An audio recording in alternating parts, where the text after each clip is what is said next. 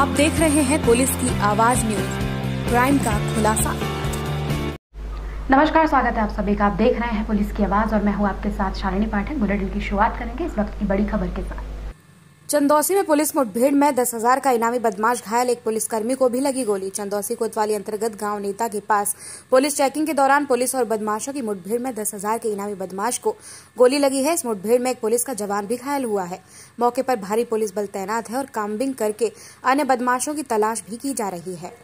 जनपद संभल के चंदौसी कोतवाली क्षेत्र गाँव नेहटा में कोतवाली प्रभारी निरीक्षक देवेंद्र कुमार शर्मा चेकिंग कर रहे थे कि सामने से बाइक पर कुछ संदिग्ध आते दिखाई दिए। रोकने का इशारा करने पर उन्होंने पुलिस टीम पर फायरिंग कर दी। जवाबी कार्यवाही करते हुए जांबाज प्रभारी निरीक्षक देवेंद्र कुमार शर्मा की टीम ने भी फायरिंग कर दी।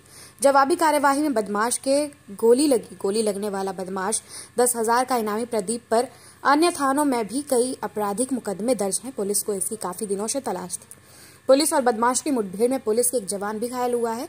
मुठभेड़ की सूचना पर भाली पुलिस बल मौके पर पहुँचा और कॉम्बिंग की बदमाशों की तलाश में पुलिस ने काफ़ी छानबीन की। पुलिस अधीक्षक चक्रेश मिश्रा मौके पर पहुँचे और घटनास्थल का निरीक्षण किया और बदमाश के बारे में जानकारी हासिल की। बताया जा रहा है कि पुलिस की गोली से घायल बदमाश आपराधिक किस्म का है और इस पर अन्य जनपद में कई आपराधिक मुकदमे दर्ज हैं। यहाँ पर पुलिस क्या कहना था?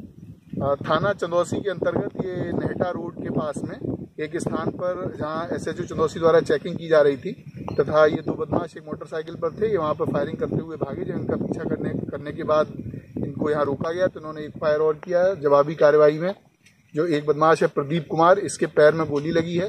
बाद में जानकारी में पता चला कि ये दस हज़ार रुपये का इनामी थाना अमरोहा देहात से है। जहाँ पर ये चोरी और अटेम्प्ट टू मर्डर के मुकदमों में वांछित चल रहा था। गैंगस्टर एक्ट भी इसके ऊपर लगा हुआ है, उसमें भी ये वांछित था। इसके पश्चात इसकी जो जानकारी की गई है, उसमें ये पता चला है, ये चोरी की बाइक पर यहाँ पर जा रहे थे और इनके पास से एक 315 बोर असला बरामद हुआ है। साथ में पाँच ज़िंदा कारतूस और एक खाली खोखा भी यहाँ से बरामद हुआ है। जो जो एक फरार हो गया है और उसके साथ में एक हमारे कांस्टेबल के भी चोट लगी है। तो जो कांस्टेबल और इस अपराधी को, दोनों को हॉस्पिटल भेज दिया गया है, जहाँ इनका आगे की कार्रवाई की जा रही है।